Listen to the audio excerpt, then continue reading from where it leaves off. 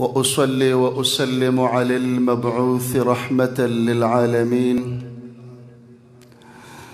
أما بعد فأعوذ بالله السميع العليم من الشيطان الرجيم.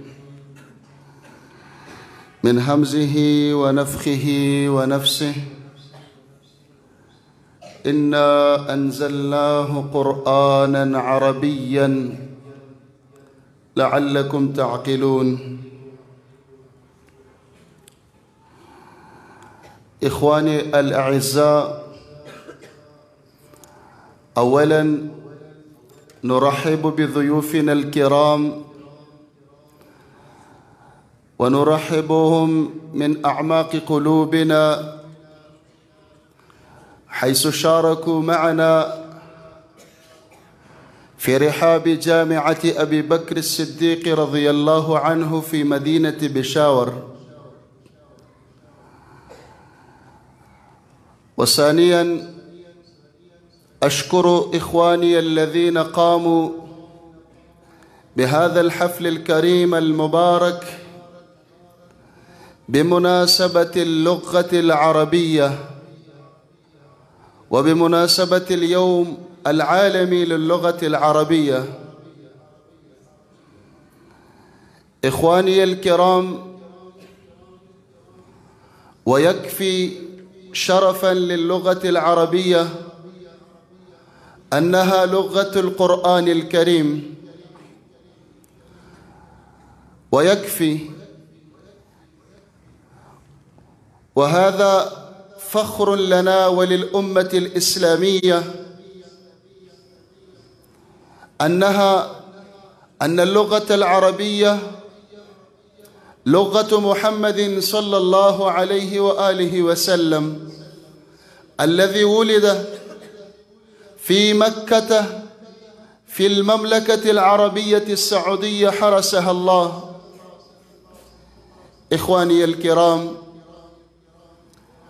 ويكفي باللغة العربية شرفا أنها لغة أهل الجنة. وهذا ليس بكاف. بل لغة العربية لغة السنة النبوية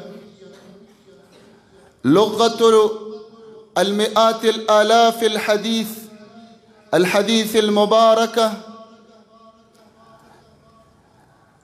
اللغة العربية لغة الإسلام لغة الإيمان. قال سلفنا الصالح رحمهم الله إن تعلم اللغة العربية من الواجبات علينا لأنها لغة ديننا. فإذا لم نعلم باللغة العربية ولا نعلم أسرارها فكيف نعلم بديننا؟ فكيف نفهم بقرآننا؟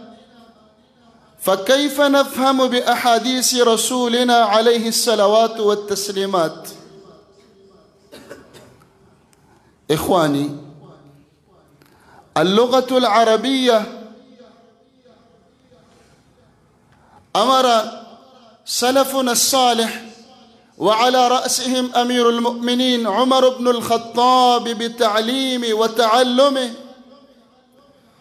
قال عمر بن الخطاب رضي الله عنه تعلموا اللغة العربية فإنها من دينكم وتعلموا الفرائض. الفرائض بمعنى علم الميراث. إخواني الأعزاء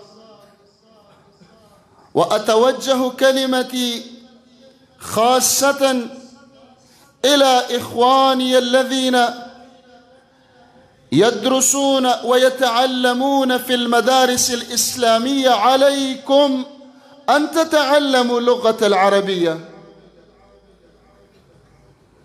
اليوم في الدنيا أكثر من ثلاثمائة مليون نسمة وإنسانا الحمد لله والحمد لله يتكلمون باللغة العربية. اللغة العربية ليست لغة ساقطة بل للغة العربية. والحمد لله للغة العربية القوة في الميادين العسكرية والميادين السلطانية. للغة العربية اليوم الحمد لله أوتان وملك وأطباء وخبراء وعلماء فعلينا أن نتعلم اللغة العربية ولا نتكاسل في هذه اللغة. إخواني الكرام قال سلفنا الصالح رحمهم الله تعلم اللغة تعلم اللغة العربية ترقي القلوب. فاليوم ننظر أن العرب أرق الناس قلوبا ألم تسمعوا قراءتهم لكتاب الله وتلاوتهم؟ يقرؤون كتاب الله ويبكون يقرؤون آيات الله ويبكون لأن اللغة العربية والتكلم بها ترقي القلوب يلين القلوب. يزيل عن القلوب القسوة. فإخواني الكرام في هذا اليوم العظيم بمناسبة اليوم العالمية للغة العربية أوصيكم نفسي وإياكم بتعلم اللغة العربية لأنها لغة ديننا ولأنها لغة القرآن.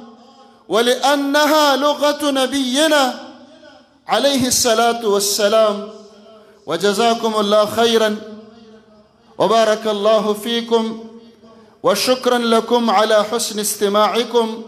أقول قولي هذا وأستغفر الله لي ولكم ولسائر المسلمين. فاستغفروه إنه هو الغفور الرحيم.